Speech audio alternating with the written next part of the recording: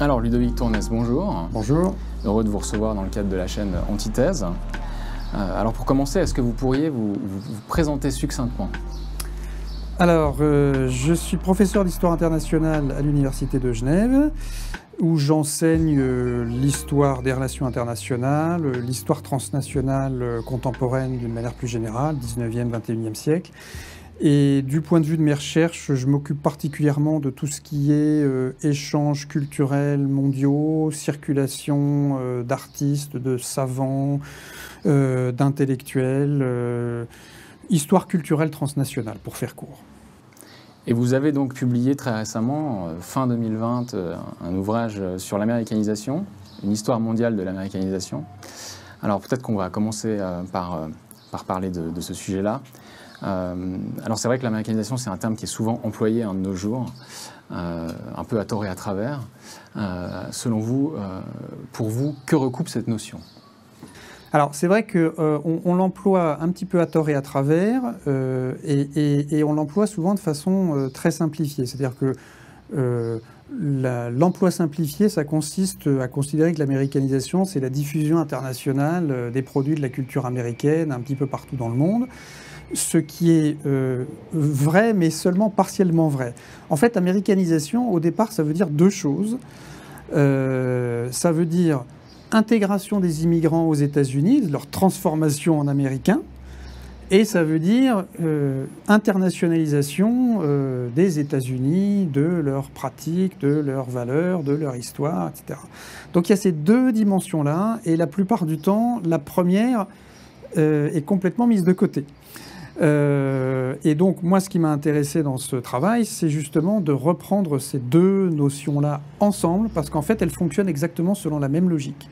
Et du coup, ça m'a amené à une définition de l'américanisation qui est un petit peu différente de celle qu'on emploie d'habitude, mais qui est à la fois plus large et en même temps, me semble-t-il, plus simple, qui est que euh, l'américanisation, pour moi, c'est la création d'un sentiment d'appartenance à une nation, les États-Unis, qui s'est conçue d'emblée comme étant une nation mondiale, une nation à l'échelle de la planète. Parce que ça, c'est quelque chose qui est fondamental et on ne peut pas comprendre le phénomène d'américanisation si on ne comprend pas que les États-Unis se sont construits comme un pays, comme un nationalisme mondial, quelque part. Un pays qui ne voit pas de différence entre, enfin, qui voit pas de frontières entre lui et le reste du monde.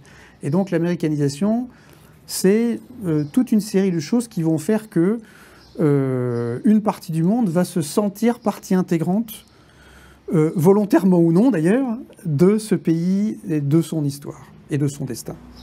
Et puis ça vous dit donc c'est une notion qui, euh, qui est fondamentale au nationalisme euh, états-unien.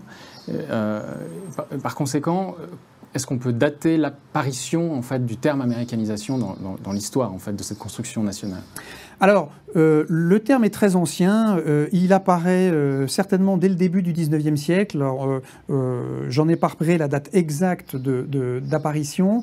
Ce qui m'a plutôt intéressé, moi, c'est de, repérer le moment où il, où il, se diffuse et où il entre dans le débat public.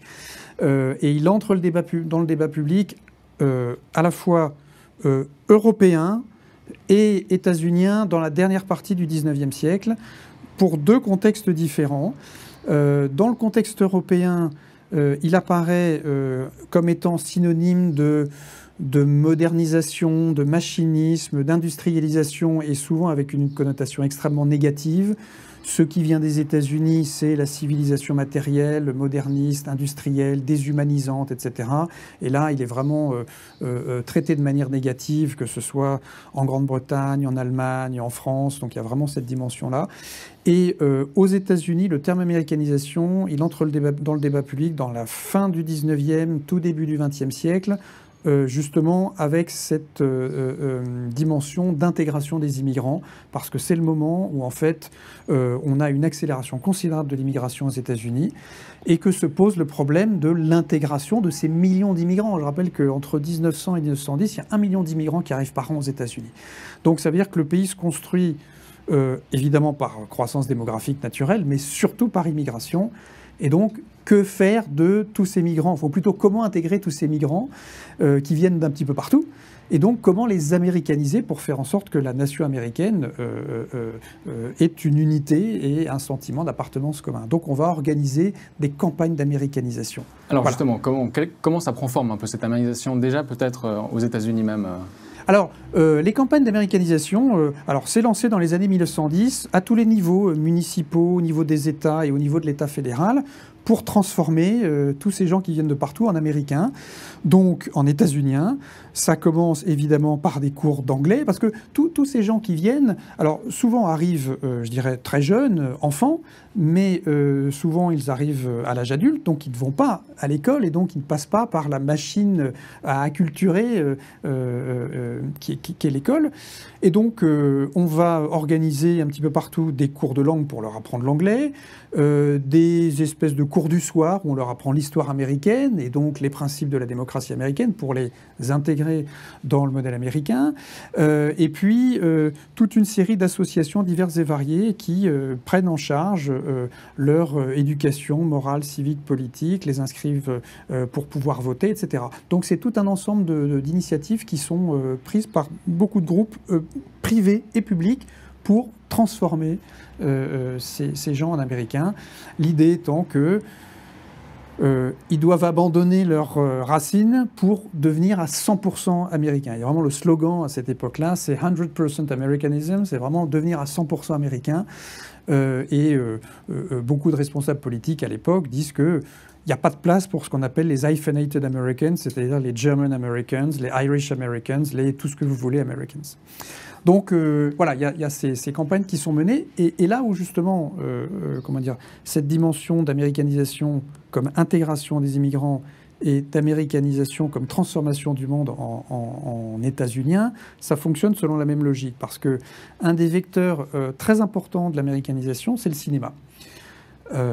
qui est un média de masse, évidemment, et qui devient tout de suite un média de masse dès les années 1910-1920.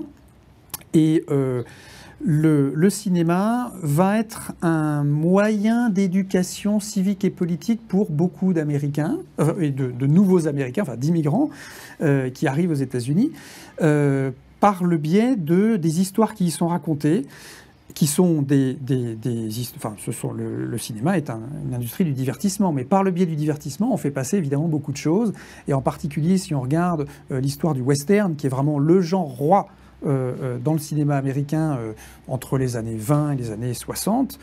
le cinéma, le western est un, un film d'aventure, mais vous y trouvez toute une série d'éléments de, l'histoire américaine qui sont exposés de façon, comment dirais-je, attractive et sous couvert de la fiction au public.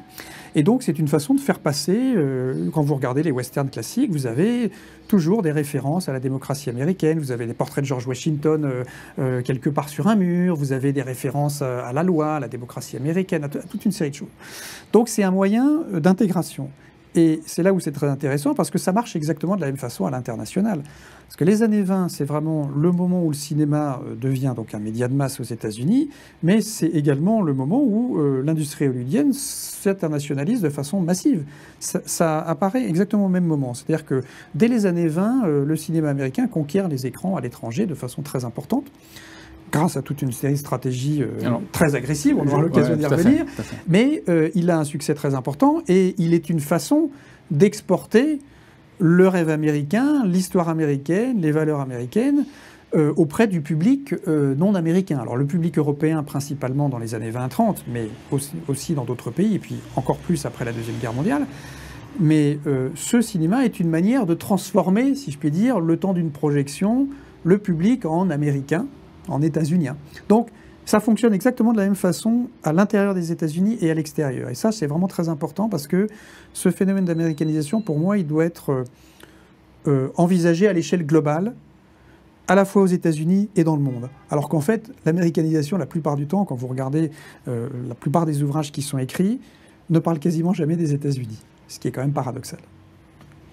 Alors, on aura l'occasion effectivement de revenir sur plusieurs points que vous avez mentionnés ici. Sur le western notamment et la, projection culturelle des États-Unis.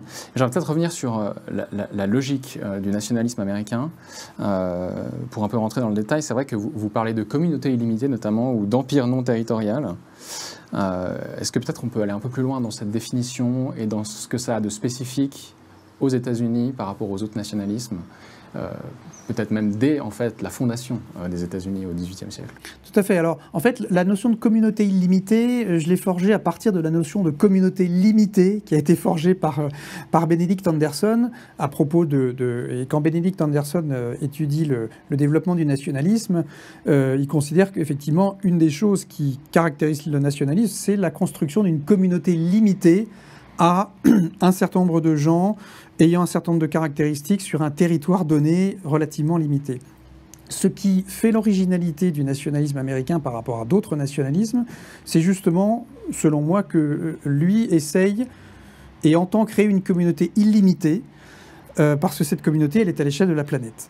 Euh, et, là, pour ça, il faut vraiment avoir présent à l'esprit le fait que les États-Unis se construisent comme pays, comme territoire et comme nation en même temps parce que vous avez la révolution américaine de 1776 et l'indépendance en 1783, et puis vous avez tout de suite la conquête de l'Ouest, donc la conquête d'un immense territoire. Et donc la frontière des États-Unis ne va pas cesser de bouger pendant un siècle, juste depuis la fin du XVIIIe siècle jusqu'à la fin du XIXe siècle. Et en même temps se construit le sentiment d'appartenance, le nationalisme américain, et il se construit bien sur l'idée d'une dilatation de la frontière, alors que les nationalismes habituels, si je puis dire, se construisent à l'intérieur d'un territoire qui est déjà en partie constitué, ou en tout cas qui ne bouge pas énormément. Alors que les États-Unis, c'est intrinsèque cette idée de euh, dilatation permanente du territoire, d'abord jusqu'à l'océan Pacifique, et puis après, ma foi, naturellement, si je puis dire, et symboliquement, euh, euh, à l'échelle de l'ensemble de la planète. Et ça, je crois que cette idée de, de communauté illimitée, elle rend bien le fait que euh, dans, la, quelque part dans le nationalisme américain, il y a cette idée que la frontière est en dilatation permanente et qu'au fond, il n'y a pas de frontière entre les États-Unis et le reste du monde, et que le monde est naturellement une extension des États-Unis. Alors, tous les Américains ne pensent pas ça, mais dans la, façon dont le, nationalisme américain s'est construit, euh, cette dimension est assez présente. D'où l'idée de communauté illimitée. Et ça, effectivement, ça recoupe l'idée de manifeste destiny, euh, que vous décrivez aussi dans le livre. Euh, dans votre livre, euh, qui, a été notamment euh, théorisé par l'historien John Fiske à la fin du XIXe siècle. Et puis, alors lui, il va, très loin. Il y a même une notion un peu messianique dans le sens où il soutient que Dieu a chargé les États-Unis d'une mission universelle et prédit la création d'une grande fédération mondiale permettant aux États-Unis d'assurer la paix et d'étendre leur influence sur toute la planète. On est vraiment dans cette dynamique de, projection messianique. Tout à fait, et, mais c'est du messianisme au, sens premier du terme, c'est-à-dire que quand euh, John O'Sullivan emploie le premier, le terme de manifeste destiné en 1845, c'est bien cette idée qu'il y a un destin particulier aux États-Unis qui lui est donné par la providence divine, qui est de s'étendre à l'échelle de la planète pour y propager un modèle qui est censé être un modèle parfait. Parce que euh, on ne comprend pas le messianisme américain. Alors d'abord, si on ne prend pas en compte sa dimension religieuse extrêmement forte, qui est toujours euh, très importante dans la culture politique américaine, hein. mais euh, euh, si on ne prend pas en compte également le fait que les États-Unis, au moment où ils construisent leur système politique à la fin du, XVIIIe siècle, ont la certitude d'avoir bâti un système politique parfait, une synthèse politique entre les différents apports, et une synthèse politique qui est qui évite euh, les écueils de l'anarchie d'un côté et de la tyrannie de l'autre côté. Donc euh, cette idée de système politique parfait, l'idée euh, étant évidemment d'en faire bénéficier le monde entier, d'où effectivement ce, messianisme extrêmement particulier qui va effectivement concevoir cette nation à l'échelle de la planète. Et, donc effectivement cette idée, elle, se, elle, prend forme très tôt dans l'histoire américaine, elle se développe à partir euh, du début du 19e siècle et elle se développe parallèlement à cette expansion territoriale qui est une expansion facile en fait. Parce que, euh, bon, il y a les guerres indiennes, il y a les rivalités avec l'Angleterre au nord, euh, avec l'Espagne au sud, avec la France là, mais au fond, la conquête du territoire est assez facile. Et donc du coup, ça renforce les États-Unis dans cette idée que la Providence leur a accordé un territoire énorme, et bah, après ce territoire, il y a effectivement le reste du monde. Mais ce qui est très important aussi, c'est de, considérer que l'idée pour les États-Unis n'est pas de conquérir militairement le reste du monde, mais de faire du monde un, ensemble qui soit à l'image des États-Unis. C'est vrai que aussi on, remarque, j'ai l'impression dans l'histoire américaine tout de suite un peu un paradoxe par rapport à cet îlot de liberté euh, dont ils s'imaginent les, garants, et effectivement les guerres indiennes notamment, qui sont assez, assez sanglantes et, euh, qui font des millions de morts, euh, ou, des milliers de morts en tout cas. Bon, le nombre exact est difficile à, évaluer, mais ce qui est sûr, c'est que euh, les, Indiens qui étaient encore présents sur le territoire au XVIIIe siècle ont pratiquement disparu à la fin du XIXe siècle. Donc ça s'est euh, traduit par effectivement des, massacres épouvantables. Alors, il y a euh, deux choses en fait. C'est qu'effectivement, il y a, d'une part cette idée de, de, régime parfait, de synthèse politique parfaite, de, pays de la liberté, de messianisme. Et puis tout ça s'épanouit sur fond d'une conception du monde raciale avec des races supérieures et des races inférieures, euh, et donc euh, les Indiens faisant partie de la race rouge, comme on dit à l'époque, euh, qui est condamnée à s'éteindre devant l'extension de, de, la race blanche et sa conquête du territoire. Et, effectivement, le rêve américain, la synthèse politique américaine, elle concerne une certaine partie de l'humanité, la race blanche en particulier. Les rouges, les Indiens n'en font pas partie, les noirs, les Afro-Américains n'en font pas partie non plus. Donc on a effectivement un un, système politique qui se, qui se veut fondamentalement égalitaire, mais qui se bâtit sur une vision du monde qui est fondamentalement inégalitaire et, euh, complètement imperméable. C'est-à-dire qu'il n'y a, a, pas de participation possible, pratiquement, euh, des Indiens ou des Afro-États-Uniens au rêve américain. Euh, les Indiens, il faut les éliminer, puisqu'ils sont sur la route de l'expansion états-unienne. Et puis, euh, les esclaves devenus libres après la guerre de sécession euh, sont très vite mis de côté avec le système de la ségrégation qui bloque de facto toute possibilité d'intégration. Hein, et le rêve américain n'est pas pour les Afro-Américains. Et puis alors, effectivement, cette, conception raciale euh, est, transversale au monde occidental de, l'époque. Et, je me demandais si vous êtes intéressé aussi aux liens qui pouvaient exister entre les conceptions impérialistes britanniques de la fin du XIXe siècle, euh, autour par exemple de euh, Cecil Rhodes, de euh, William W. w. T. Stead, le journaliste américain assez connu à la fin du XIXe siècle, qui a écrit d'ailleurs un livre qui s'appelle L'américanisation du monde. parce que c'est vrai qu'on retrouve un peu un, sorte aussi de, de, messianisme un peu anglo-saxon comme ça dans, dans la conception britannique. J'ai une phrase notamment d'un journaliste et homme politique assez connu aux États-Unis qui s'appelle Philip Kerr, Lord Lothian, qui était notamment ambassadeur aux États-Unis euh, euh, dans les années 40, 1940, et qui dit, qui écrit à, son ami euh, Lionel Curtis, que l'avenir du monde dépend de la reconnaissance graduelle par le reste de la planète des principes fondamentaux qui sont au cœur de la civilisation anglo-saxonne. Et là, j'ai l'impression qu'on retrouve un peu une même dynamique, mais alors plus tant centré autour de l'américanisation, mais autour de la notion d'anglo-saxon, en fait, de la communauté anglo-saxonne. Est-ce que c'est quelque chose que vous avez aussi pu euh, remarquer ou, euh, euh, Oui, tout à fait. Alors, alors là, comment dirais-je? Alors d'abord, les États-Unis sont issus de l'Angleterre, donc il en reste évidemment beaucoup de choses, et, et c'est vrai que vous avez... Alors, disons, l'Angleterre qui est un petit peu les États-Unis du 19e siècle, au sens où c'est la première puissance mondiale, et où, en fait, finalement, dès euh, le milieu du siècle, euh, euh, des Anglais comme des Américains ont bien conscience de l'inversion du rapport de force qui est en train de se passer, avec une croissance, notamment économique, extraordinaire, qui est celle des États-Unis, et un certain tassement de, de la puissance anglaise, ou en tout cas l'idée qu'elle va probablement être dépassée d'ici quelques décennies par la puissance américaine américaine.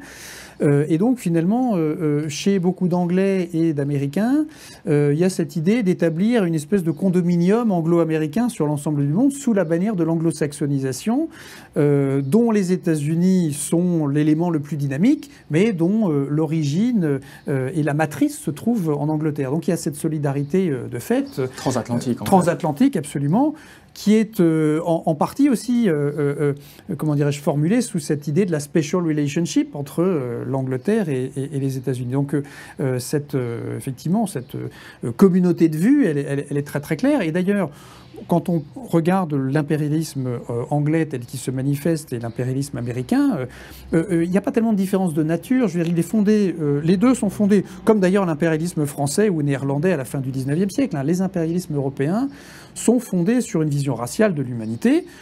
Donc de ce point de vue-là, l'impérialisme américain n'est ni plus ni moins raciste que ses, confrères européens, si je puis dire. Simplement, il se manifeste de manière un peu différente dans un premier temps, parce que euh, l'impérialisme anglais, l'impérialisme français, l'impérialisme allemand, néerlandais, des, empires coloniaux européens, euh, ils se manifestent euh, de façon économique et militaire, par la conquête coloniale. Les États-Unis, à la fin du 19e siècle, ce n'est pas une puissance militaire. Ça devient très vite la première économie, la première industrie du monde en l'espace de 30 ans, mais militairement, c'est tout à fait négligeable. Donc les États-Unis pas faire valoir une puissance militaire. Il, conquiert un petit empire colonial à la fin du 19e siècle, mais qui est petit par rapport aux, empires européens. Donc eux, en fait, la, manière de faire sentir leur puissance, euh, c'est d'abord l'économie parce que c'est une puissance économique énorme, parce que c'est un pays avec des ressources euh, euh, naturelles fabuleuses, et que donc, en 1900, l'économie américaine, la production industrielle américaine, c'est autant que l'Allemagne, la France et la Grande-Bretagne réunies, qui sont les trois puissance économique suivante. Donc c'est une puissance colossale et c'est par là que l'impérialisme américain euh, se fait le plus sentir. Alors la dimension militaire évidemment existe aussi. La preuve c'est qu'il y, a des conquêtes coloniales, hein. il y a Cuba, il y a les Philippines, euh, mais disons euh, par rapport aux puissances européennes classiques, c'est moins. Ça n'est qu'après que les États-Unis deviennent une très grande puissance militaire. Ils le deviennent de façon très courte pendant la Première Guerre mondiale, au moment où ils apportent un, soutien décisif euh, à la Triple Entente euh, pour gagner la Première Guerre mondiale, mais c'est surtout pendant la Deuxième Guerre mondiale, qui, pendant la Deuxième Guerre mondiale, qui devient une superpuissance militaire. Parce que en 1939-1940, l'armée américaine n'est pas plus forte que l'armée belge. C'est une petite armée. Mais entre 1940, 41 et 45, ça va devenir la superpuissance militaire qu'on connaît aujourd'hui. D'ailleurs, l'effort de guerre permet au pays, aux États-Unis, de se remettre un peu de la Grande Dépression. Euh, Absolument. Ça permet aux États, ça, ça, achève de sortir les États-Unis de la crise. Ils en étaient partiellement sortis, notamment par les mesures du New Deal, mais, mais euh, partiellement seulement.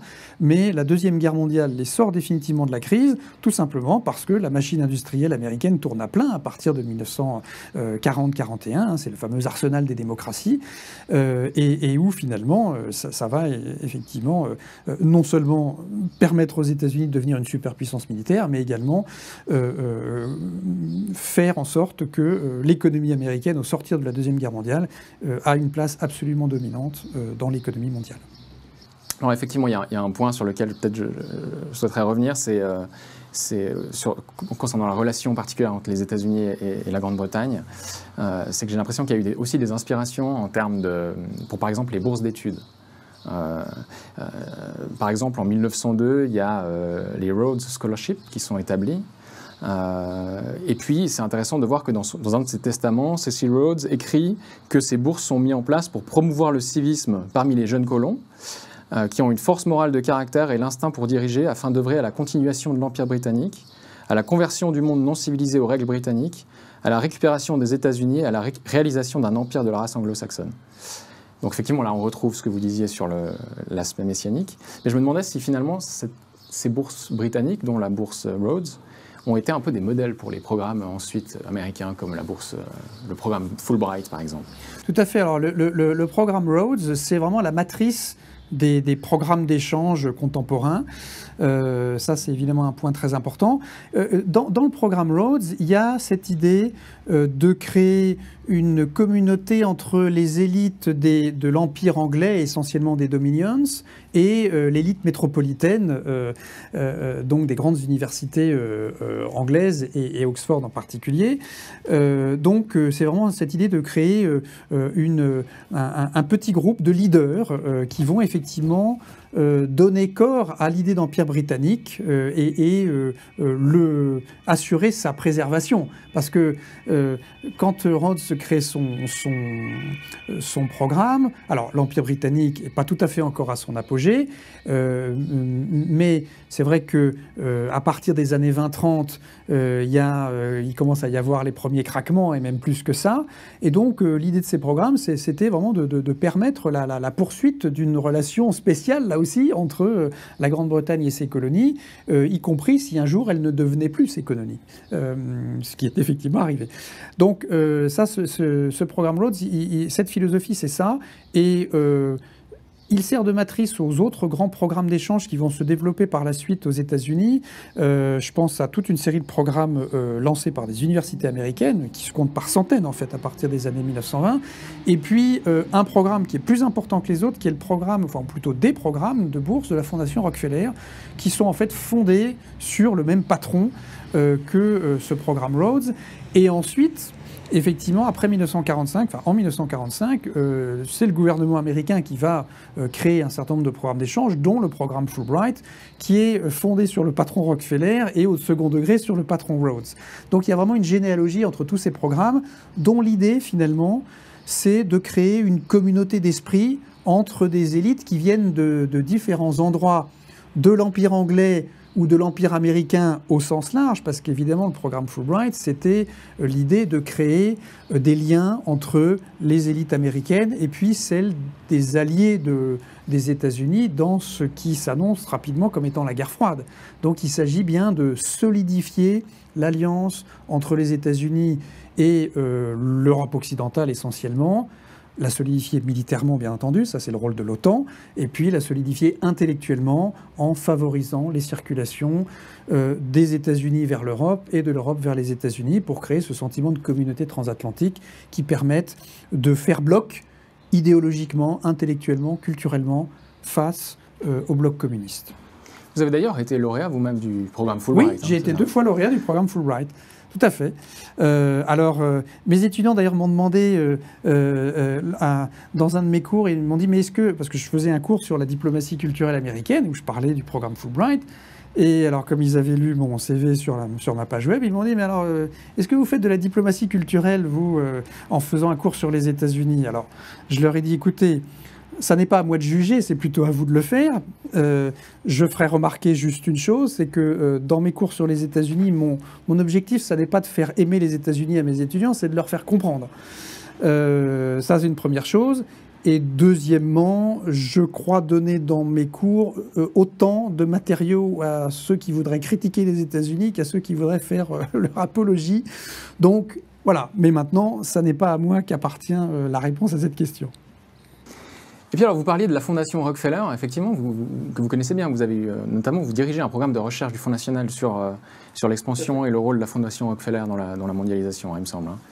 Euh, alors, peut-être on peut parler de, l'impact de cette fondation et de ses, de ses fellows dans ce processus. Oui, alors en fait, la Fondation Rockefeller, ça n'est qu'une parmi beaucoup de fondations américaines. En fait, la philanthropie, c'est un phénomène extrêmement important aux États-Unis qui est disons, un peu exotique par rapport à l'Europe, encore que la philanthropie est très présente euh, en Europe, et alors en Suisse en particulier, qui est un des pays où, elle est le plus présente, euh, mais aux États-Unis, sa place particulière vient du fait qu'elle elle s'est développée sur fond d'un État faible et où finalement elle a pris en charge, les organisations philanthropiques ont pris en charge des, des domaines qui sont traditionnellement en Europe plutôt du ressort de l'État.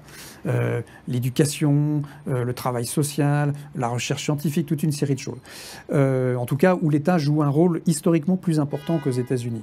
Donc, ce sont des fondations qui sont créées au cours de l'histoire américaine, des fondations qui avaient pour objectif de travailler uniquement sur le territoire américain, et puis pour les plus grandes d'entre elles, de travailler à l'échelle mondiale. C'est là que la Fondation Rockefeller intervient, parce qu'elle est créée donc en 1913, et son objectif, extrêmement ambitieux, c'est de faire le bien-être de l'humanité à travers le monde. Et donc, euh, euh, ces organisations, elles sont très intéressantes pour l'historien parce que, d'abord, elles ont des archives fabuleuses.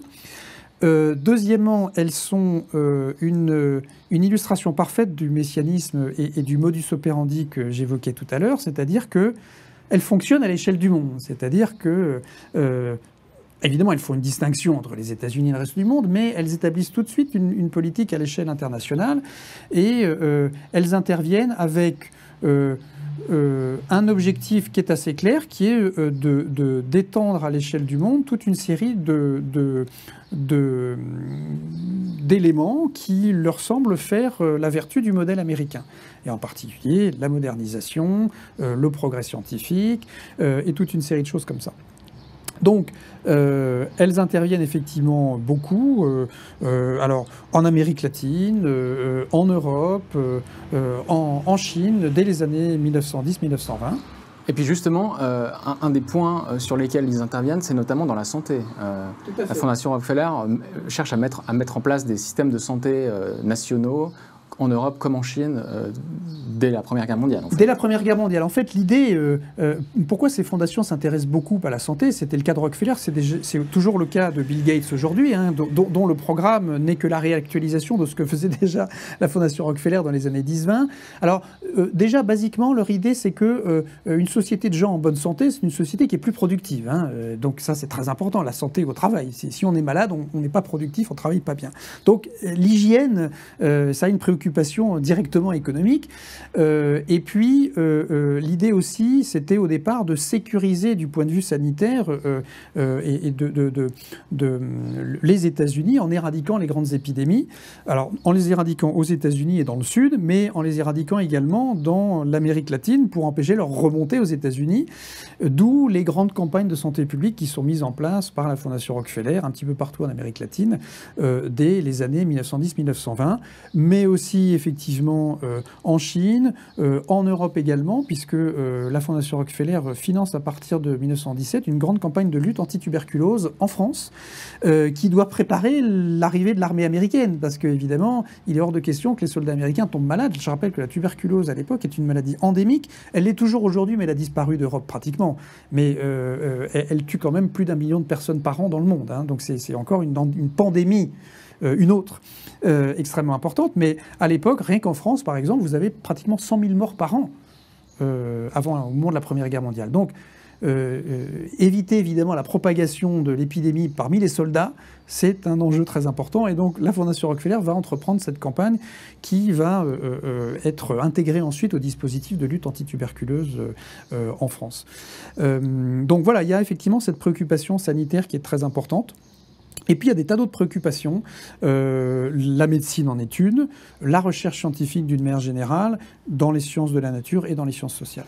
Et est-ce qu'on peut dire que les systèmes de santé qu'on connaît actuellement sont d'une certaine manière, alors il y a eu des évolutions et des adaptations, mais sont d'une certaine manière issus un peu de cette impulsion qui a été donnée euh, par la Fondation Rockefeller ou ces, ces fondations en général? Alors, c'est une question très intéressante parce qu'elle touche justement euh, aux limites de l'action de ces organisations. Parce qu'il euh, y a, euh, disons, il y, a beaucoup de fantasmes autour de, ces grandes fondations qui sont à la fois des organisations puissantes et riches, mais qui sont souvent beaucoup moins puissantes qu'on ne voudrait bien le laisser croire.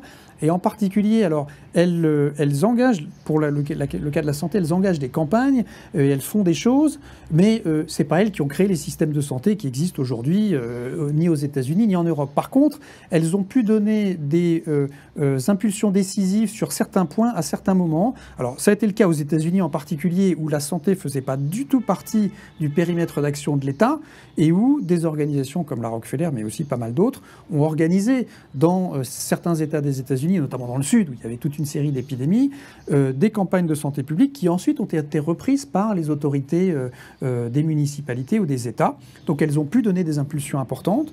elles l'ont fait aussi en Europe. Alors pour le cas français, par exemple, ça c'est très intéressant parce qu'on voit bien comment la lutte antituberculeuse en France a commencé avant l'arrivée de la Fondation Rockefeller. Mais euh, la Fondation Rockefeller a donné euh, une impulsion euh, assez importante à la publicisation de cette maladie, qui était un tabou social à l'époque. On ne disait pas qu'on mourait de la tuberculose. Or, elle, elle a considéré qu'un des éléments pour lutter contre la tuberculose, c'était d'informer le public. Et donc, elle a donné l'impulsion à toute une série de campagnes d'information dans les médias de l'époque. Il y avait la presse, il y avait le cinéma déjà aussi.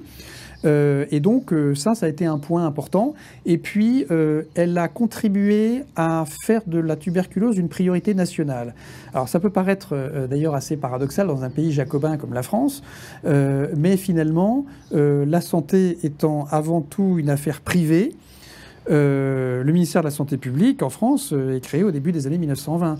Et en fait, la Fondation Rockefeller, pour la, lutte anti-tuberculose, a contribué à faire de cette lutte une lutte à l'échelle nationale et avec une dimension un peu centralisée.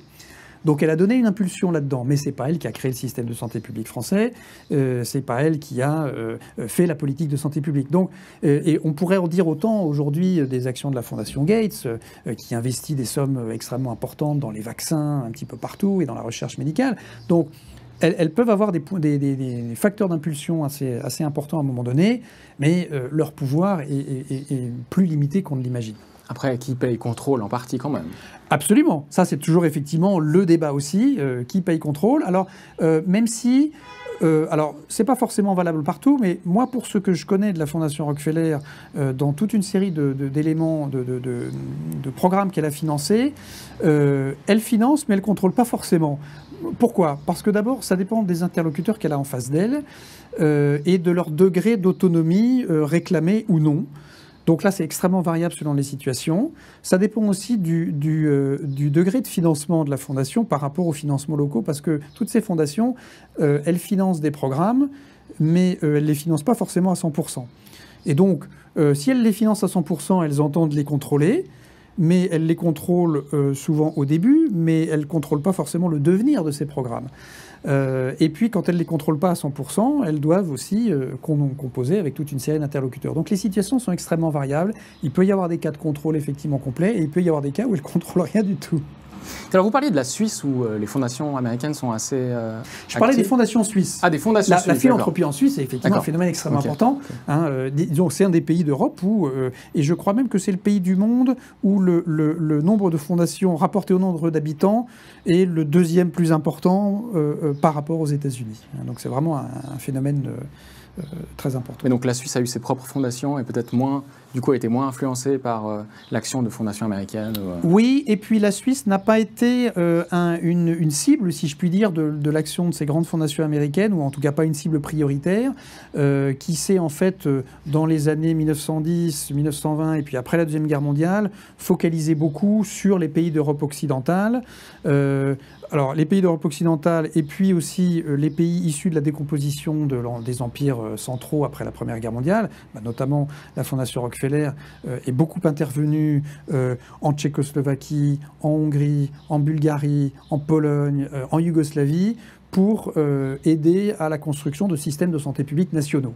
Hein, donc voilà, ça c'est un exemple. Et puis après la Deuxième Guerre mondiale, les fondations continuent d'intervenir, la Rockefeller, la Ford, la Carnegie, dans toute une série de pays d'Europe occidentale, dans ce qui est une espèce de plan Marshall intellectuel dans le cadre de la guerre froide. Et qui effectivement prend en compte pas seulement la santé, mais il y a aussi par exemple tout ce qui est enseignement de, la gestion d'entreprise, euh, du management, euh, ou, même des branches universitaires comme la sociologie. Ou, euh. Tout à fait. Ce sont des, des, domaines d'intervention extrêmement larges. Alors, pour ce que vous évoquez, effectivement, le management, ça s'inscrit dans la logique de l'exportation des méthodes de production américaines dans le cadre de la reconstruction économique de l'Europe. Parce que après 1945, les États-Unis ont absolument besoin de continuer à faire des échanges avec l'Europe, faute de quoi ils ne pourraient pas écouler leur production, et ils ont besoin d'avoir des partenaires commerciaux, et euh, euh, donc il est important que l'Europe se reconstruise. Euh, et donc leur grande idée, c'est bien d'exporter des méthodes de production américaines en Europe. Alors une des solutions, c'est de faire venir des chefs d'entreprise, des managers, des publicités, etc. aux États-Unis pour voir comment font les entreprises américaines. Mais tout ça, ça a un coût. Donc une autre méthode, c'est aussi de favoriser le développement en Europe de cursus dans des écoles de commerce, de gestion, euh, qui effectivement formeraient les futurs dirigeants européens euh, aux méthodes américaines.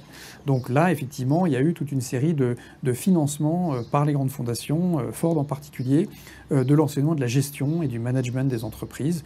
Le mot management, justement, hein, émerge à ce moment-là. Enfin, il commence un petit peu dans les années 1920, mais c'est surtout après la Deuxième Guerre mondiale qu'il apparaît. Donc il y a ça. et puis il y a évidemment toute une série d'autres branches, par exemple le développement des études américaines d'une manière générale, dans les universités autres, euh, à la fois états-uniennes et euh, non états-uniennes, se fait beaucoup à partir de la Deuxième Guerre mondiale, euh, dans les universités européennes en particulier, avec le financement des, fondations américaines qui aident à créer des cours d'histoire des États-Unis, qui aident à, ou, de, littérature américaine, qui aident à former des spécialistes des États-Unis en accordant soit des bourses Rockefeller, soit des bourses Fulbright euh, euh, à des chercheurs qui vont aller faire leur thèse ou écrire un livre aux États-Unis. Euh, et alors, moi, très concrètement, euh, j'ai bénéficié du programme Fulbright pour aller effectivement euh, écrire des articles et, des ouvrages sur des archives américaines dont j'avais besoin.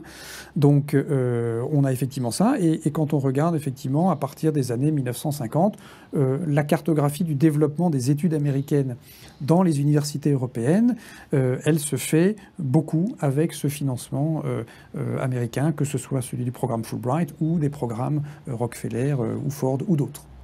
Puis alors justement, il y, a, un point que j'ai trouvé intéressant dans un article que vous avez écrit, justement en parlant de la sociologie, euh, ou de la fondation de la sociologie des États-Unis. Vous faites un lien entre les leaders euh, qui promeuvent la vision de la fondation Rockefeller et les marchands de lumière décrits par Bacon dans son roman du XVIIe siècle qui s'appelle La Nouvelle Atlantide. Et ça, je trouvais que c'était un lien idéologique assez intéressant.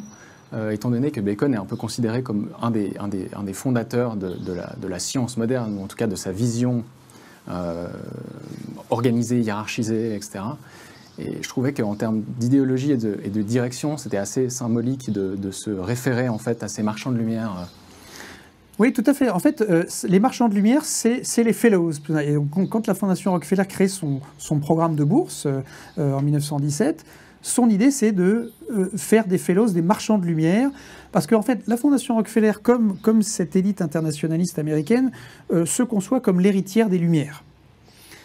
Euh, elle se conçoit comme l'héritière des Lumières, et donc ces fellows, que ce soit des Américains qui vont aller euh, prêcher la bonne parole dans le monde, avec toute la dimension messianique que ça comporte, euh, et puis euh, des bourses qui vont aussi faire venir aux États-Unis des gens d'un petit peu partout pour leur apprendre un certain nombre de choses dans les universités américaines, et ensuite revenus chez eux pourront aller réapporter la lumière. Hein, donc c'est vraiment ça. Et, cette, idée de, comment dirais-je, cette, euh, euh, cette, idée du progrès, de la modernisation, de, elle est fondée sur le rôle des individus. C'est-à-dire qu'on est vraiment dans un mode de libéral fondé sur le, le primat de l'individu, d'un petit groupe d'individus qui va apporter les lumières du progrès à l'ensemble de l'humanité. Et évidemment, ces fellows doivent être ça. donc l'idée de marchand de lumière, elle est effectivement très forte. Et c'est le président de la Fondation Rockefeller qui l'emploie à l'époque. Euh, donc, et ça résume très bien la philosophie de ce que sont ces programmes de bourse. Est-ce qu'on pourrait comparer un peu ce fonctionnement à une, à une secte dans certains côtés? Non, c'est très exagéré. Euh, ce sont des organisations euh, élitistes euh, qui ont un projet idéologique et économique très clair. Elles ne s'en sont jamais cachées. qui est un projet à la fois. Nationaliste et internationaliste, mais les deux à la fois. Et, on ne peut pas les dissocier. Je crois que, en fait, euh, si vous voulez, le, le alors l'idée des fondations comme secte, c'est vrai qu'il y, y, a beaucoup de fantasmes là, euh, autour du pouvoir des fondations américaines. Et, là, c'est vrai que ça rejoint ce qu'on disait tout à l'heure à propos de leur pouvoir réel ou supposé. Elles ont un pouvoir parce qu'elles ont beaucoup d'argent. Elles ont un pouvoir parce qu'elles ont, elles n'ont de compte à rendre à personne, puisqu'elles peuvent l'utiliser comme elles veulent, ce sont des organisations privées. Euh, elles ont un pouvoir limité parce que malgré tout leur budget est quand même limité par rapport à celui qui est celui des États. Et puis, euh, deuxièmement, euh, euh, elles, elles, elles, ne sont pas si décisionnaires qu'on l'imagine. C'est-à-dire qu'il y, y, a beaucoup de, de, de, de, fantasmes autour du fait que finalement, on a cette petite élite qui tirerait les ficelles de l'ensemble du monde à travers des groupes un peu mystérieux comme le Bilderberg, la Trilatérale, etc. Et puis, évidemment, les carrières d'un certain nombre de gens de cette philanthropie, bon, si on prend Nelson Rockefeller, David Rockefeller, tous ces gens-là, ils sont, ils sont comment dirais-je, au confins du monde industriel, de la banque, de la culture, de la politique, etc. Donc ce sont des, des, gens très interlopes en, en, somme, mais qui, alors pour certains, ont une carrière politique, c'était le cas de Nelson Rockefeller, mais leur influence sur le, pouvoir n'est pas, pas si importante qu'on ne le croit. Et ça, je crois que c'est vraiment, c'est vraiment important. En revanche, alors, le, terme de secte, euh, il, est, très ambigu parce que d'abord, secte euh, en Europe et aux États-Unis, ça ne veut pas dire la même chose. En Europe, ça a une dimension très péjorative, une secte. Euh, aux États-Unis, une secte, ça désigne toutes les obédiences des églises protestantes états-uniennes, donc qu'elles se désignent comme des sectes. mais si on prend le point de vue européen, la comparaison me paraît extrêmement exagérée. Et puis alors, en, parlant de marchands de lumière, pour revenir à ce, qu'on disait tout à l'heure, effectivement, il y, a aussi les marchands de lumière de la démocratie. Finalement, les États-Unis sont un peu considérés comme tels. Et puis, euh, j'aurais bien voulu qu'on s'arrête sur euh, finalement le, premier exemple de croisade démocratique des États-Unis, qui est les Philippines, hein, notamment dans, la guerre qui a été faite. Euh. Tout à fait. Alors, en fait, l'idée de croisade démocratique, c'est très important parce qu'au fond, euh, la démocratie, c'est sans doute ce que les États-Unis ont voulu le plus exporter. Et euh, au fond, si on prend les choses sur un siècle, c'est là peut-être où ils ont le plus échoué parce que pratiquement toutes les opérations d'exportation de la démocratie telles qu'elles ont été conçues par les États-Unis ont été des échecs assez lamentables euh, et se sont traduits par une, dégradation de l'image internationale des États-Unis. Alors, il y a, quand même quelques exceptions. Euh, dans, tout ça, euh, moi j'en vois deux essentiels qui sont euh, la stabilisation démocratique de l'Allemagne et du Japon après 1945, qui ne sont pas une croisade démocratique, mais disons que les États-Unis ont joué un rôle dans la transition de ces pays de régimes totalitaires vers des régimes démocratiques. Ils n'en sont pas les seuls responsables d'ailleurs, mais ils ont joué un rôle incontestable là-dedans. ça c'est tout à fait clair. Mais on a effectivement toute une série d'autres exemples qui sont beaucoup, moins, beaucoup moins réussis c'est le moins qu'on puisse dire. Euh, euh, il y a le Vietnam, bien entendu, plus récemment, il y a l'Irak, et puis il y a cet épisode fondateur qui est euh, les Philippines, qui est la, la première grande opération, effectivement, qui est à la fois une opération coloniale et une opération. C'est une conquête coloniale et c'est une, une, conquête qui prétend établir une démocratie aux Philippines. Mais D'abord, c'est une démocratie à l'américaine, c'est-à-dire une démocratie racialisée, donc une démocratie seulement pour les Blancs. Euh, et puis d'autre part, euh, c'est une, euh, démocratie qui, va en fait aboutir à la mise en place d'un régime oligarchique parce que les États-Unis se sont appuyés sur des élites locales de l'oligarchie philippine euh, qui n'avaient pas particulièrement envie d'établir un régime démocratique. Euh, donc, euh, en tout cas, la, guerre des Philippines, elle est, importante parce que c'est la première opération internationale des États-Unis, c'est le premier exemple de projection internationale des États-Unis qui n'est pas seulement une, projection militaire, mais où il y a un projet derrière. Euh, alors qu'il n'y a pas du tout ce projet-là dans la colonisation britannique ou française, par exemple. Donc ça, c'est une, des, spécificités de l'impérialisme à l'américaine. Euh, même si, euh, au cours de sa période coloniale, les États-Unis n'ont pas établi une démocratie aux Philippines, et ils ont même plutôt renforcé l'oligarchie locale, mais ils ont créé toute une série d'institutions politiques euh, qui sont et d'institutions aussi universitaires qui ont permis aussi le développement de l'éducation de la population d'une manière plus générale, qui ont pu jouer sur le long terme un rôle dans l'évolution politique des Philippines vers une démocratisation, mais qui va avoir lieu seulement à partir des années 1980 ou 1990. Et ça, c'est un processus qui est beaucoup plus interne, dans lequel les États-Unis ne jouent plus de rôle après la, Deuxième Guerre mondiale. Euh, donc c'est très ambigu d'interprétation. Euh, il y a d'une part l'objectif américain et puis le discours, parce que évidemment, la dimension de croisade démocratique, elle est aussi euh, une façon de justifier cette entreprise qui est fondamentalement une entreprise coloniale. Hein, et, mais disons, la différence entre l'entreprise coloniale états-unienne et, l'entreprise coloniale euh, européenne. D'abord, les États-Unis sont les derniers arrivés dans le monde colonial et c'est les premiers partis puisque finalement il quitte les Philippines en 1946. Alors certes, avec l'idée d'y garder une influence qui garde toujours jusqu'à aujourd'hui d'ailleurs, au prix de toute une série de, frictions avec le pouvoir philippin, mais les États-Unis restent présents.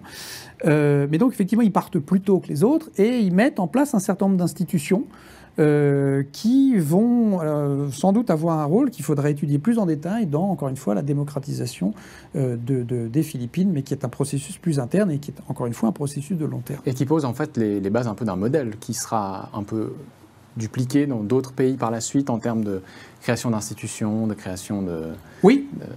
Parce qu'effectivement, euh, euh, quand les États-Unis arrivent quelque part, euh, c'est souvent avec l'idée de refondre les choses et, de effectivement créer une série d'institutions qui permettent ou qui sont destinées à changer le modèle. Alors évidemment, le problème c'est que ces interventions, elles interviennent souvent dans un contexte militarisé. Alors il y a le cas philippin évidemment, et puis plus près, il y a évidemment le cas vietnamien pendant la guerre du Vietnam, et puis encore plus près de nous, l'Afghanistan puis surtout l'Irak, où il y a eu cette tentative de refonte euh, de, la politique irakienne globale qui s'est euh, soldée par un échec absolument désastreux, puisque, hein, évidemment, euh, aujourd'hui, 2021, l'Irak n'est toujours pas une démocratie telle que l'espéraient les États-Unis en 2003 quand ils sont arrivés en Irak. Et à se demander d'ailleurs si c'est pas un prétexte, cette démocratisation. Alors, pour l'invasion de l'Irak en 2003, la démocratisation était largement un prétexte. et, et d'ailleurs, le,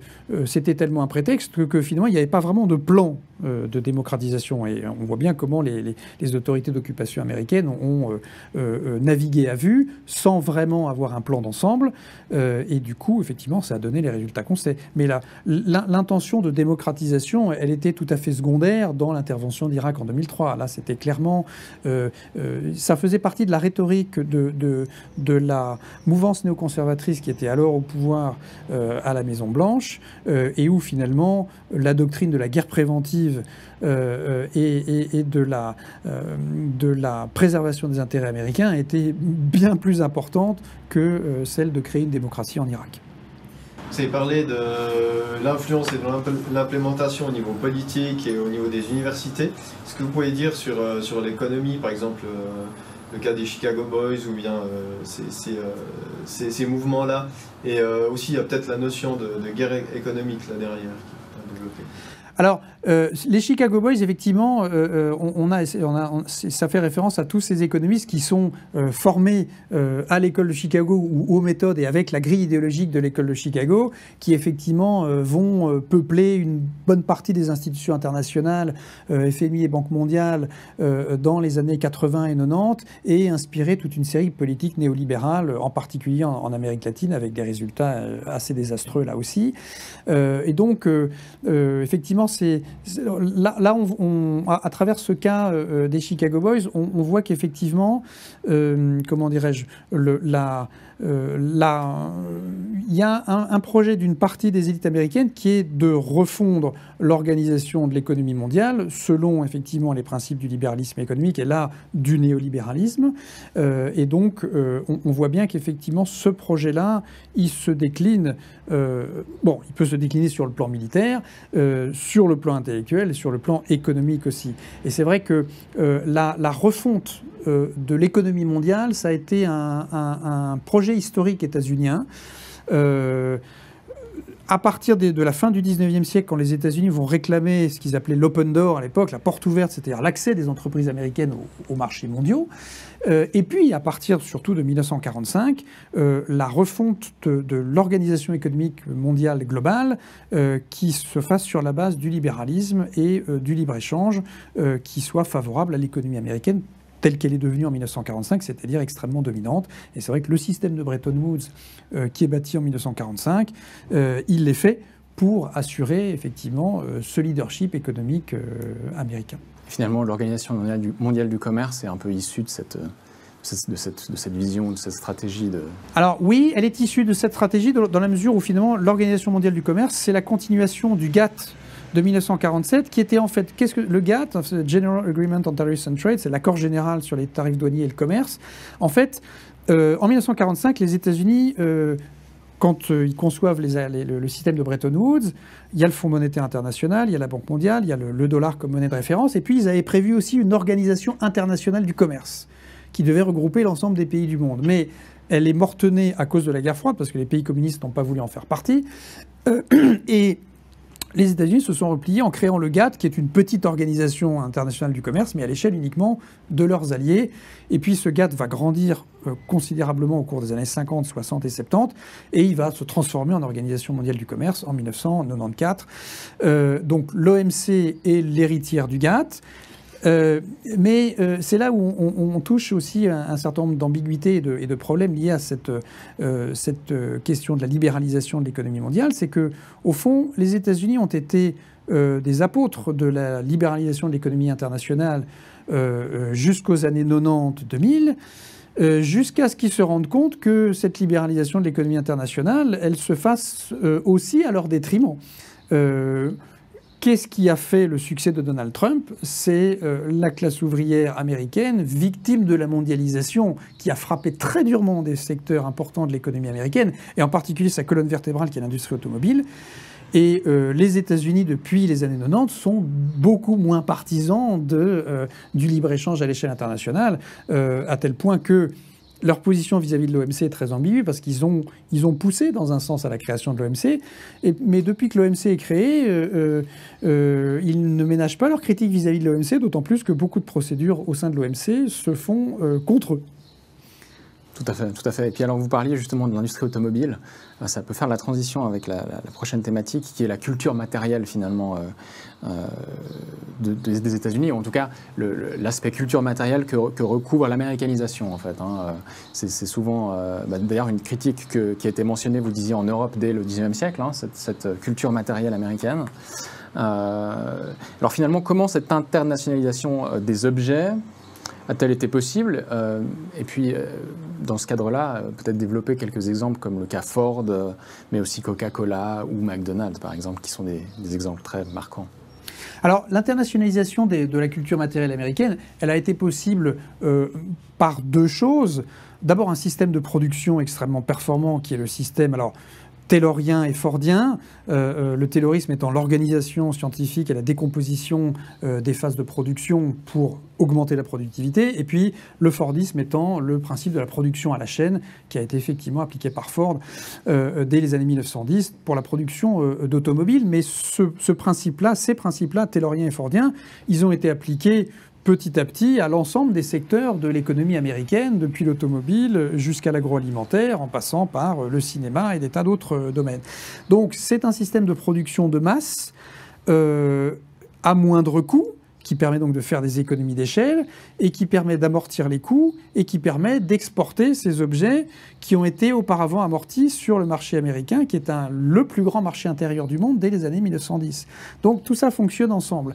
Et c'est vrai que euh, euh, cette internationalisation euh, elle a été effective dès les années 1910-1920, euh, à la fois l'exportation des automobiles, l'exportation des objets de, la, de, tous les jours, le rasoir jetable par exemple, Gillette, qui effectivement conquiert une grande partie du marché européen dès le milieu des années 20, l'exportation du cinéma, qui est un mode de production à la chaîne et taylorien des images et des histoires. Hein. Ça, c'est quand même important aussi à comprendre. Euh, donc euh, voilà, il n'y aurait pas d'exportation de la culture matérielle américaine s'il n'y avait pas euh, ce, ce, système de production massif.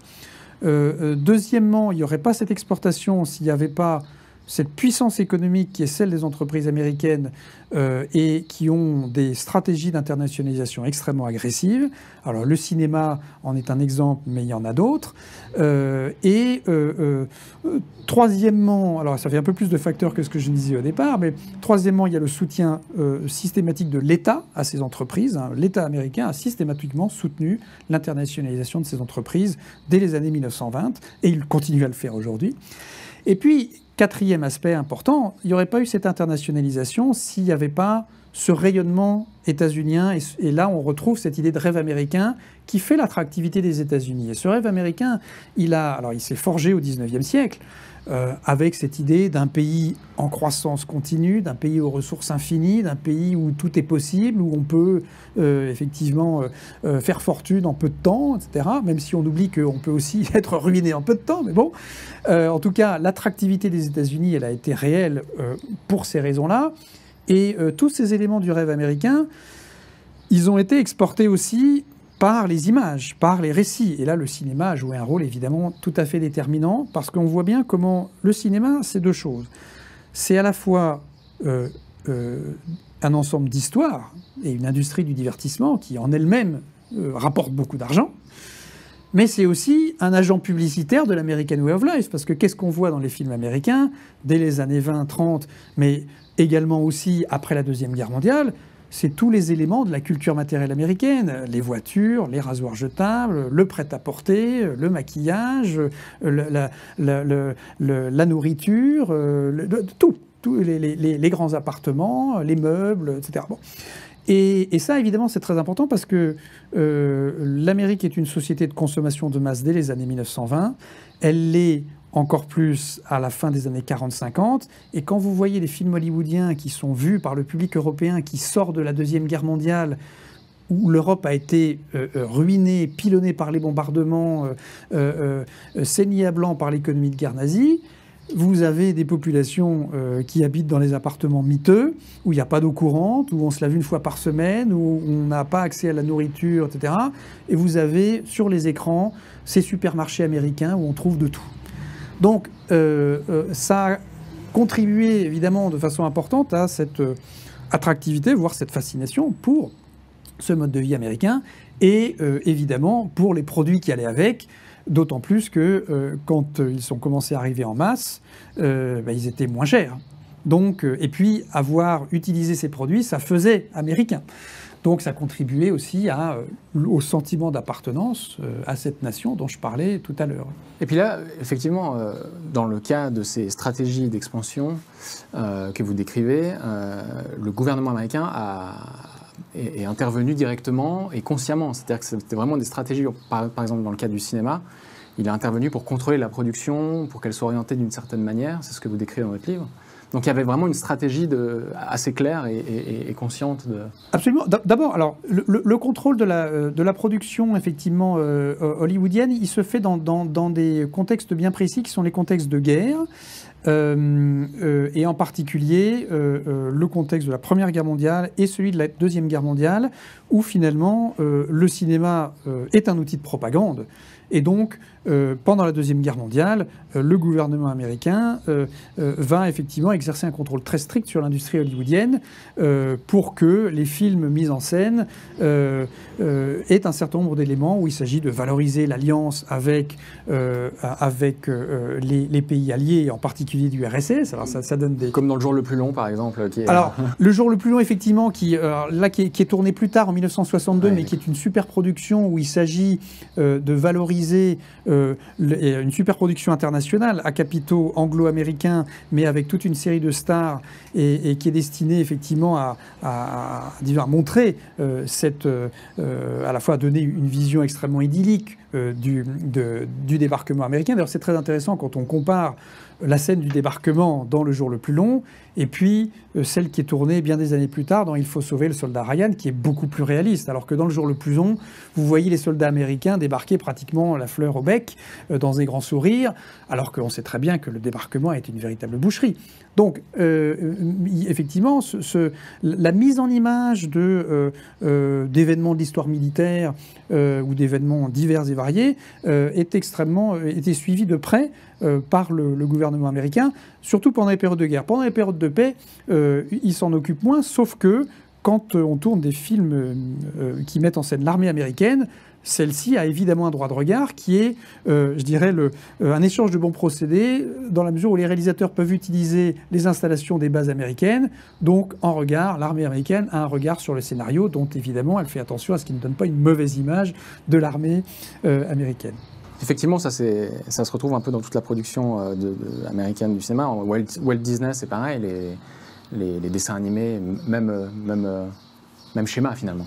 Alors, ce qui est très intéressant avec Walt Disney, et là, aussi, on, touche euh, à, la, façon dont le cinéma a pu être un vecteur de cette, image d'une Amérique euh, euh, attractive et rêvée, c'est que Walt Disney, pendant la Deuxième Guerre mondiale, produit des dessins animés euh, qui mettent en valeur l'alliance entre euh, les États-Unis et les pays d'Amérique latine, c'est le fameux dessin animé Saludos Amigos, ou alors des dessins animés euh, qui, par exemple, Full Will Win the War, qui est un dessin animé qui montre comment la, la, la de l'industrie agroalimentaire américaine va lui permettre de nourrir tous ces pays européens que l'armée américaine est en train de libérer. Et euh, on voit apparaître dans ce dessin animé euh, les trois petits cochons à la tête d'une armée de, cochons qui sont destinés à nourrir la population européenne. Et donc on voit bien comment euh, ces trois petits cochons, qui sont des héros du dessin animé de Walt Disney tourné dix ans auparavant, apparaissent ici dans un film qui fait la propagande finalement de cette industrie agroalimentaire qui va nourrir les populations européennes. Et donc on a une, un brouillage complet entre la fiction d'un dessin animé et puis effectivement un film de, propagande. Et ça, euh, c'est très important parce que euh, si vous prenez également un autre, euh, un autre film de cette période qui est Why We Fight, qui est une série en fait de films documentaires qui explique pourquoi les États-Unis sont entrés dans la guerre. Euh, et ce film documentaire, il est montré aux populations américaines pour euh, les convaincre du, bien fondé de l'entrée du gouvernement américain en guerre, mais il est, projeté également aux populations européennes dans les régions libérées. Et euh, Why We Fight est tourné par un des maîtres du cinéma hollywoodien de l'époque, qui est Frank Capra. Et c'est un documentaire, mais qui est scénarisé comme un film. Où on retrouve d'ailleurs des plans qui sont directement issus des films de Frank Capra, entre autres. Est-ce que vous pensez au niveau du cinéma qu'on est arrivé un petit peu à la limite de ce que les États-Unis peuvent faire de bien dans le cinéma? Alors, euh, en tant qu'historien, je ne me pose pas la question de savoir ce qu'ils peuvent faire de bien ou ce qu'ils peuvent faire de mal. Euh, ce qui m'intéresse, c'est comment ils le font et quel est son effet. Euh, alors, ce qu'on peut dire de façon très générale, c'est que l'industrie hollywoodienne a acquis très vite une position dominante dans le monde. ça, c'est très clair. De mon point de vue, elle n'a jamais acquis une position hégémonique. Et je pense qu'on se trompe complètement quand on parle de l'hégémonie américaine à l'échelle mondiale. Je parle. Pour moi, la vision de l'hégémonie, c'est une vision qui est très eurocentrée, en fait. Parce qu'il peut y avoir des situations d'hégémonie. Hégémonie, ça veut dire quoi? Ça veut dire que vous êtes sans concurrent, euh, vous êtes complètement dominant, et les dominés ont tellement intégré la domination qui justifie la domination du dominant. Que je sache, euh, euh, les États-Unis, quand on regarde euh, la force de l'anti-américanisme dans beaucoup de régions du monde, quand on suscite une telle détestation, ça veut dire qu'on n'est pas hégémonique. Voilà. Donc si on raisonne à l'échelle mondiale, pour moi, les États-Unis ne sont pas hégémoniques. Ils ont été hégémoniques dans certains secteurs à l'échelle peut-être du monde, occidental, mais ils ne sont pas hégémoniques à l'échelle mondiale.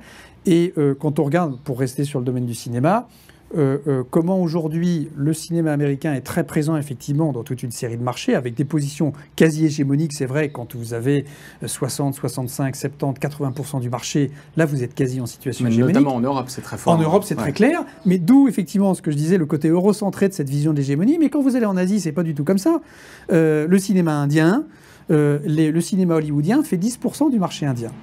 Euh, il y a des positions assez importantes aussi en Chine, mais euh, la Chine protège très bien, si je puis dire, parce que évidemment c'est l'État qui contrôle tout, son marché. Euh, mais donc en Asie, le cinéma américain n'est pas hégémonique. Et même, il a deux concurrents qui sont très dangereux pour lui, qui sont le cinéma indien et le cinéma chinois, qui est aujourd'hui en passe de devenir le plus grand cinéma mondial.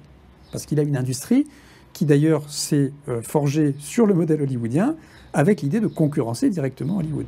Mais là, on peut se demander si justement il n'y aurait pas quand même.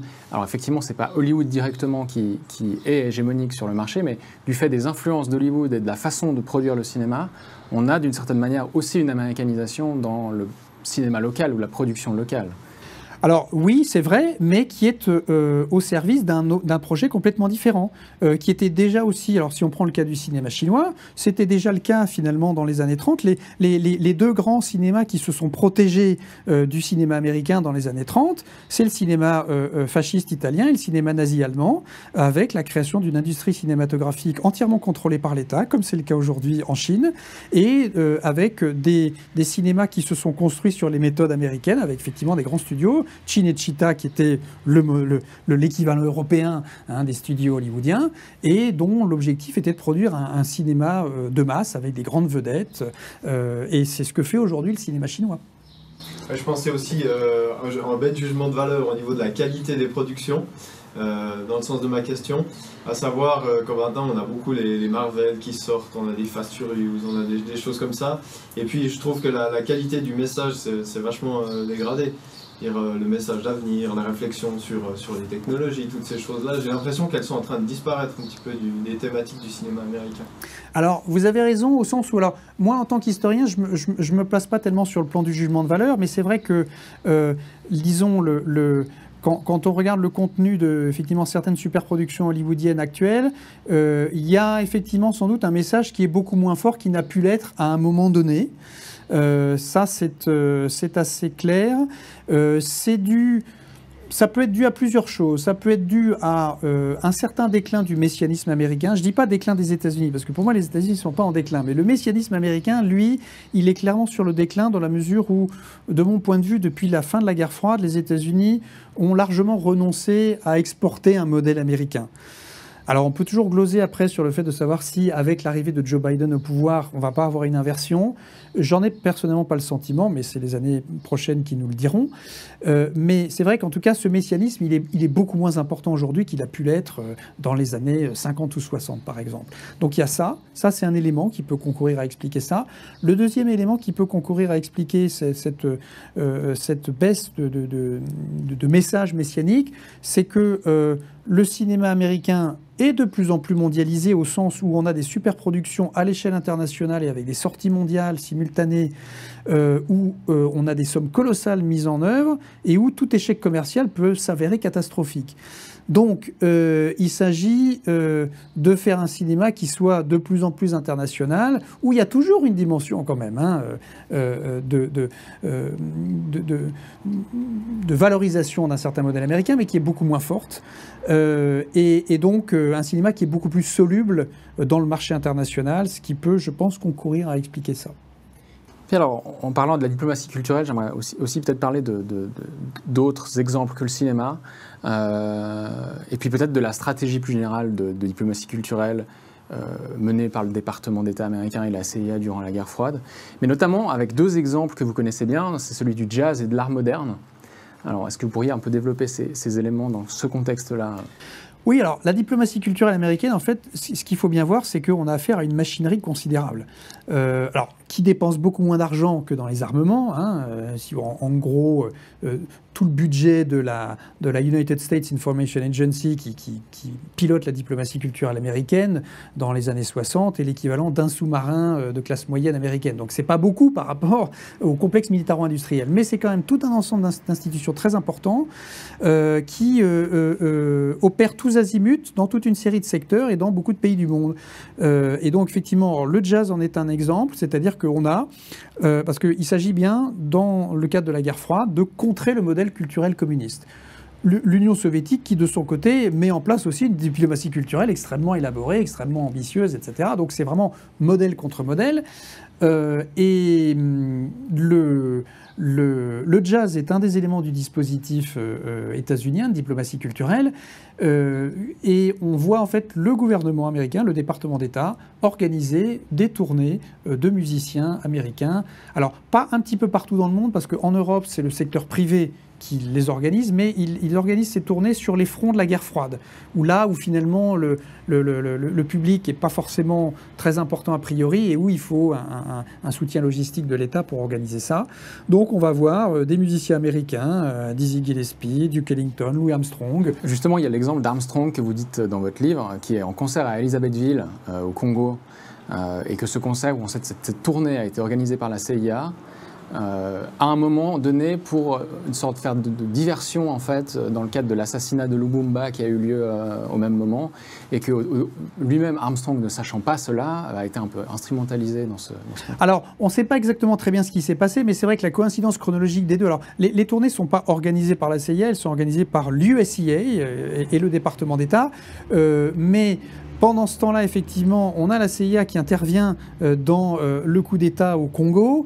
Et euh, Armstrong, qui est en ce moment-là en tournée en Afrique, parce qu'il tourne pratiquement partout en Afrique euh, cette année-là, euh, son arrivée effectivement au Congo en plein milieu de l'affaire euh, n'est sans doute pas un hasard et a tous les, toutes les allures d'une diversion, effectivement, pour détourner l'attention de ce qui est en train de se passer, effectivement, en ce moment au Congo. Donc là, on, voit bien comment, effectivement, la diplomatie culturelle d'une manière générale, et puis, bon, le jazz ici en particulier, est un moyen effectivement de donner un visage riant hein, à la politique euh, euh, extérieure américaine. Euh, ça, c'est tout à fait clair. Et quand on regarde la diplomatie culturelle de guerre froide depuis le début jusqu'à la fin, alors c'est le cas dans le domaine du jazz, mais c'est le cas aussi dans pas mal d'autres domaines, elle est clairement un auxiliaire de la politique extérieure américaine de manière plus générale. C'est pour ça que Bon, la notion de soft power, pour ce qui me concerne, m'agace toujours. Ça, ne veut strictement rien dire, en fait au sens où le, soft power,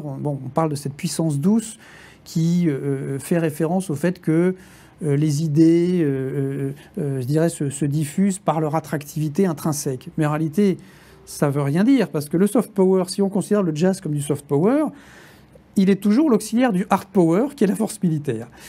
Alors, il n'a pas d'autonomie en tant que tel, ce soft power. Et croire qu'il en a, disons, c'est le rôle des, responsables politiques américains de faire croire qu'il en a, mais en réalité, il n'en a pas. Et moi, je suis toujours un peu agacé par l'emploi de ce terme soft power parce que c'est un terme qui a été forgé par des praticiens de la politique extérieure pour décrire une stratégie politique. Mais on voit souvent euh, des journalistes, des universitaires qui l'emploient comme si c'était un concept scientifique qui désignait quelque chose. Mais ça désigne rien du tout. Ça ne veut rien dire en termes scientifiques, le soft power. Ou alors, ça veut juste dire qu'on a effectivement le visage de la puissance douce, mais qui est toujours appuyé sur la puissance dure. C'est ça, il n'y a pas de puissance douce intrinsèque. La puissance est toujours. Alors, il y en a certainement une, mais euh, quand il y a une armée derrière, euh, en général, elle sert d'auxiliaire à l'armée. Bon. En parlant d'armée, d'ailleurs, c'est intéressant parce que, euh, alors ça, on revient un peu sur la thématique économique, mais finalement, l'armée aussi diffuse des objets matériels, diffuse des rasoirs, diffuse, enfin, tout plein de choses qu'elle qu'elle, euh, en s'implantant dans un pays, euh, elle diffuse à la population. Absolument. L'armée est en fait un vecteur de diplomatie culturelle non négligeable. Et d'ailleurs, bon, ça n'est pas un hasard si, je dirais, les peut-être pas les deux moments, puis peut-être les deux moments majeurs, disons, d'accélération de l'internationalisation de, euh, de, de, de, la culture matérielle américaine, ce sont les deux guerres mondiales, parce que euh, quand l'armée arrive, elle arrive avec plein de choses dans son sac, mais, mais plein de choses euh, littéralement dans son sac, puisque quand vous regardez le pactage d'un soldat américain, vous avez effectivement son matériel de base, si je puis dire, des armes et tout ce que vous voulez, et puis il y a toute une série d'autres choses, il y a une canette de Coca-Cola, euh, il y a des rasoirs jetables, il y a toute une série d'éléments, il y a des tablettes de chocolat, puisqu'on, évidemment, en Europe, au moment de la libération, c'est une denrée rare. donc, en fait, l'armée, effectivement, est un moyen d'assurer, le, de, disons, de, faciliter la diffusion d'un certain nombre de produits de la culture matérielle américaine. Alors, le Coca-Cola est un exemple caractéristique parce que euh, Coca-Cola est devenu, euh, euh, pendant la Deuxième Guerre mondiale, le fournisseur officiel de l'armée américaine, avec laquelle elle avait un contrat. Et en fait, partout où l'armée américaine débarquait, il y avait une usine d'embouteillage de Coca-Cola qui la suivait pour pouvoir fournir les soldats américains et éviter d'exporter des bouteilles de Coca-Cola directement depuis les États-Unis vers les théâtres d'opération. Donc, euh, le, chemin suivi par l'armée américaine au cours de ses débarquements successifs en Afrique du Nord, en Italie, un petit peu partout, euh, vous avez une carte des usines d'embouteillage de Coca-Cola euh, qui la suit à peu près à la trace. Alors, tout ne reste pas après la Deuxième Guerre mondiale, mais certaines restent, se transforment. Et donc, le Coca-Cola est littéralement arrivé dans les sacs de l'armée américaine et sa, diffusion massive en dehors des États-Unis s'est considérablement accélérée à la suite de ça. Et j'ai l'impression que c'est un, modèle qui est encore un peu en, place actuellement parce qu'on voit les bases américaines, c'est vraiment des villes occidentales en tant que telles actuellement. Enfin, il y, y, a toutes les facilités et en fait le personnel local indigène vient, vient y travailler. Et du coup, il y a certainement des échanges qui se font encore de cette Tout à fait. Alors, c'est euh, pas très massif parce que les bases américaines sont des enclaves et elles ne sont pas censées être ouvertes au public, mais ce sont des, petites, des petits États-Unis, des États-Unis en miniature, des enclaves américaines sur les dans les territoires où, l'armée américaine stationne, parce qu'elles vivent effectivement un peu en autarcie, avec leurs propres supermarchés, leurs propres fournisseurs, etc. Euh, mais effectivement, dans les endroits où les États-Unis, l'armée américaine est installée après la Deuxième Guerre mondiale, euh, il y a évidemment du personnel américain qui travaille dans ces bases, mais il y a du personnel local. Et donc, en théorie, le personnel local n'a pas accès euh, aux, objets qui y sont vendus, mais dans la réalité, c'est le cas. Et finalement, ces bases américaines jouent le rôle un petit peu de, de, première, euh, première, courroie de transmission pour toute une série d'objets, alors que euh, les objets américains ne sont pas encore massivement diffusés en Europe parce qu'on est encore dans une situation de pénurie dans les années qui suivent la, première, la Deuxième Guerre mondiale. Il faut, quand même voir que les, tickets de rationnement un petit peu partout en Europe euh, subsistent jusqu'à la fin des années 40. Et pratiquement la situation de la population euh, du point de vue alimentaire en particulier, elle est encore pire en 46-47 qu'elle l'était en 44-45, parce qu'il y a eu des mauvaises récoltes, parce que... Mais donc, euh, finalement, les bases américaines sont un petit peu des îlots de, de, prospérité euh, et d'abondance dans des pays qui sont détruits en grande partie. Et donc, là aussi, ça ajoute évidemment à la fascination pour ça et à l'aura qui va entourer tous ces produits, le Coca-Cola, etc. Et c'est vrai que pour beaucoup, le Coca-Cola est assimilé à euh, l'armée américaine qui débarque. Ce qui est vrai dans un sens. Alors ça pose la question peut-être justement euh, euh, de, Alors on en a déjà un peu parlé avant, hein, mais de finalement l'état en fait de l'américanisation actuellement. donc j'ai bien compris que pour vous, les États-Unis, ce ne sont plus hégémoniques actuellement. Euh, mais finalement, on a quand même l'anglais qui est la langue internationale de l'économie, on a quand même euh, les, nouvelles technologies, tout ce qui est la Silicon Valley, etc., sont, quand même le, moteur du numérique et du digital. Euh, et puis, je me rappelle d'une phrase de Snowden, Edward Snowden, qui disait que l'Internet est fondamentalement américain. Donc finalement, il y a quand même, on a, l'impression qu'il y a quand même une influence structurante du modèle américain, que ce soit technologique ou linguistique, qui est bien présente euh, partout dans le monde. Tout à fait normal. La, place des États-Unis dans le monde d'aujourd'hui, elle, est, clairement centrale. Il n'y a, pas de doute là-dessus. Il faudra vraiment être singulièrement aveugle de mauvaise foi pour le nier. Tout, c'est pas du tout euh, ça mon, mon, propos, mais c'est de dire que vous avez une place effectivement centrale euh, et vous avez un pays qui a fait figure de symbole de la modernité et figure de modèle pendant un bon demi-siècle, entre les années 1920 et 1960. Et puis, depuis cette période-là, on assiste à une, non pas à un déclin des États-Unis, encore une fois, mais à un déclin de cette idée de modèle et déclin de ce symbole de la modernité. Aujourd'hui, les États-Unis ne sont plus un modèle, euh, parce qu'on a bien vu euh, tout, tout, ce qui pouvait, euh, toutes les conséquences qui pouvaient avoir, comment dire, être généré par un certain nombre d'interventions américaines, ça c'est une première chose. Euh, et puis euh, les États-Unis ont été rattrapés aussi par toute une série de pays qui se sont reconstruits depuis la Deuxième Guerre mondiale, etc. Euh, et puis effectivement, l'image des États-Unis s'étant considérablement dégradée structurellement depuis les années 1960, et de mon point de vue, ils n'ont jamais redressé la barre. Aujourd'hui, on a un pays qui est la première économie mondiale sans conteste, la première puissance mondiale aussi, mais qui n'a plus l'aura qu'elle avait en 1945-1950.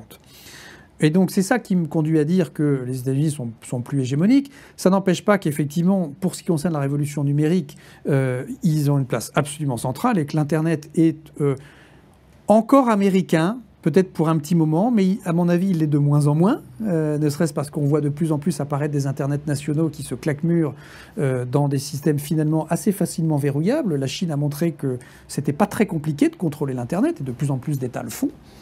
Euh, donc euh, l'Internet est toujours américain, mais pour combien de temps?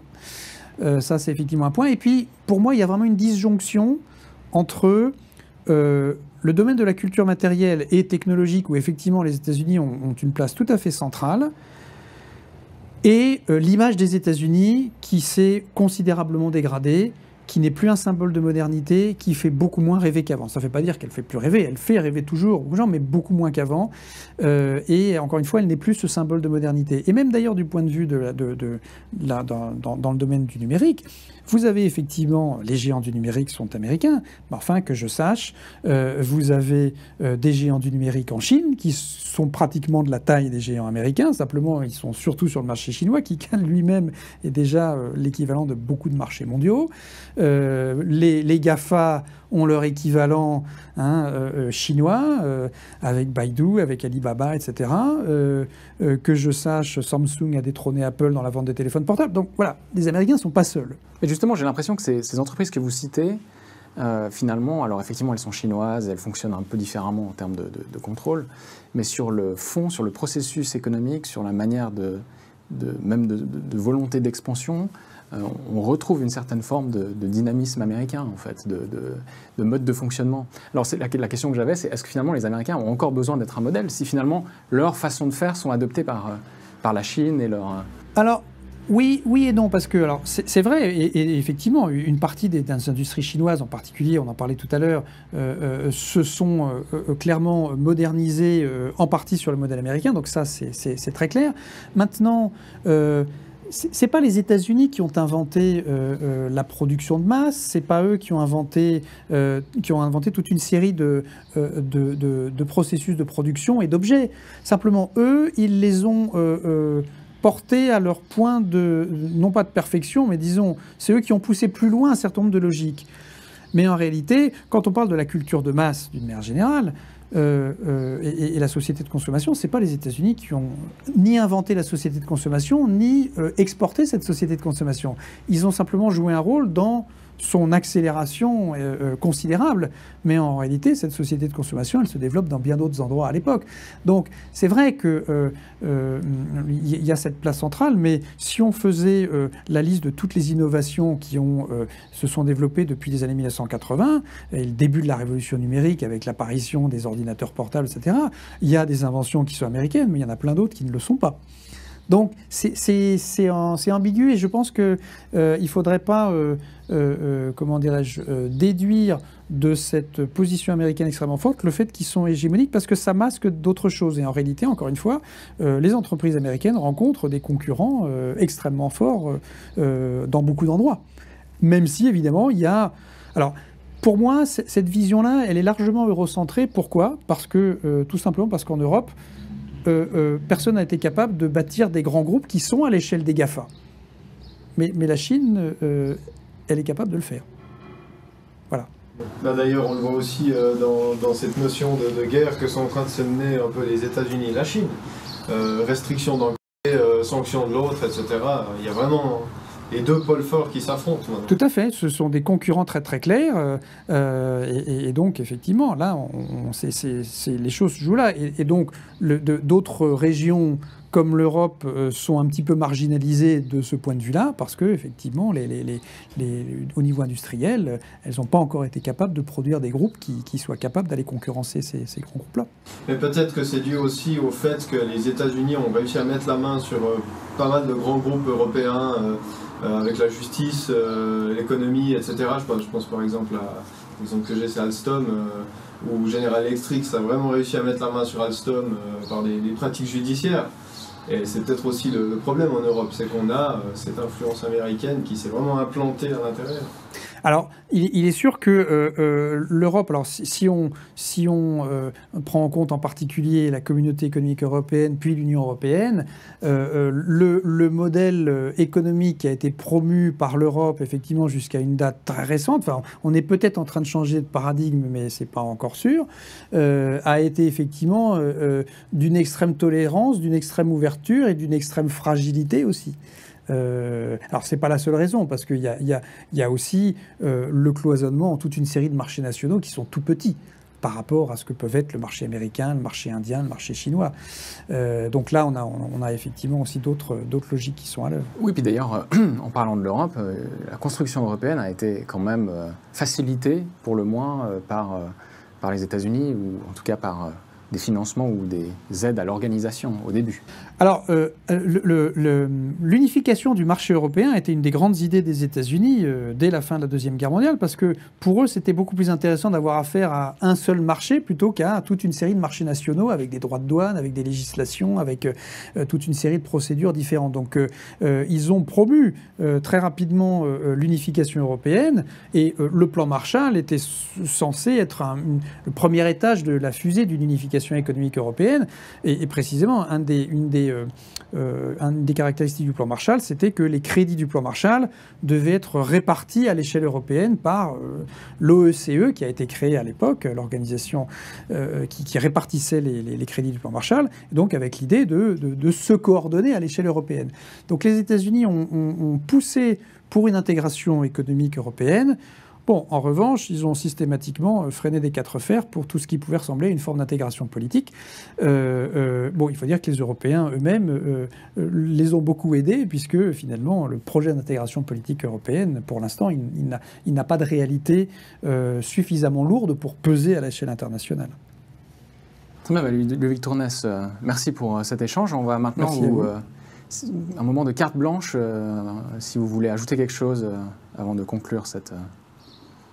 Euh, le, modèle euh, états-unien tel qu'il s'est conçu au XVIIIe, XIXe et XXe siècle, euh, et, c'est un modèle qui a marché au moins dans une partie du monde, quand on voit le rayonnement qui a été celui des États-Unis, ce modèle, il s'est bâti sur un certain nombre de prémices qui marchent plus aujourd'hui. Euh, et c'est pour ça que je, dis que le 21e siècle ne sera pas américain, en particulier parce que euh, euh, cette idée de rêve américain, cette idée de société de consommation, elle, s'est fondée sur l'idée d'un territoire aux ressources qui étaient supposément illimitées à l'époque. mais dont on s'est rendu compte aujourd'hui qu'elles ne le sont pas, parce qu'on s'est rendu compte depuis que les ressources de la planète ne sont pas illimitées et qu'on euh, ne peut pas consommer euh, euh, comme ça sans fin les ressources de la planète. Donc l'idée d'un progrès économique sans fin, l'idée d'une consommation sans fin, elle est ontologiquement plus possible aujourd'hui dans un monde où, le, réchauffement climatique, le changement climatique et la fragilité de l'environnement est avéré par de plus en plus d'études scientifiques. Donc, ce qui est un pilier du modèle américain, ça, ça ne marche plus. Alors, il n'y a, pas que le modèle américain qui fonctionne d'ailleurs comme ça, parce que toute la société de consommation fonctionne sur ce modèle. Mais euh, les États-Unis fonctionnent encore plus sur ce modèle que d'autres. Donc là, il va sans doute y avoir une révision dramatique d'un fondement intellectuel de la culture américaine qui, va devoir être fait dans les années à venir. Et ça, je crois que c'est très très important. Euh, parce que je pense que les États-Unis vont avoir plus de mal que d'autres à faire ce virage-là, étant donné précisément que leur modèle est très très fondé là-dessus. L'autre, chose aussi euh, qui me fait dire que le 21e siècle ne sera pas américain, c'est que cette idée d'un régime parfait qui était à l'origine, hein, là aussi, de, la culture politique américaine, euh, étant donné précisément les conséquences extrêmement négatives et les résultats assez désastreux d'un certain nombre de, de, campagnes de démocratisation menées par les États-Unis, fait qu'aujourd'hui, euh, le, les États-Unis ne sont plus un modèle politique. Et comme par ailleurs, on a vu de plus en plus les dysfonctionnements de la démocratie américaine qui sont apparus de façon absolument massive au cours de la dernière campagne électorale et qui ont culminé par l'émeute du Capitole du 6, juin, du 6 janvier pardon, 2021. Là aussi, on se dit que euh, l'idée des États-Unis comme modèle politique, elle appartient au passé. Très bien. Bah, Ludovic Tournès, merci pour cet euh, entretien. Merci à vous.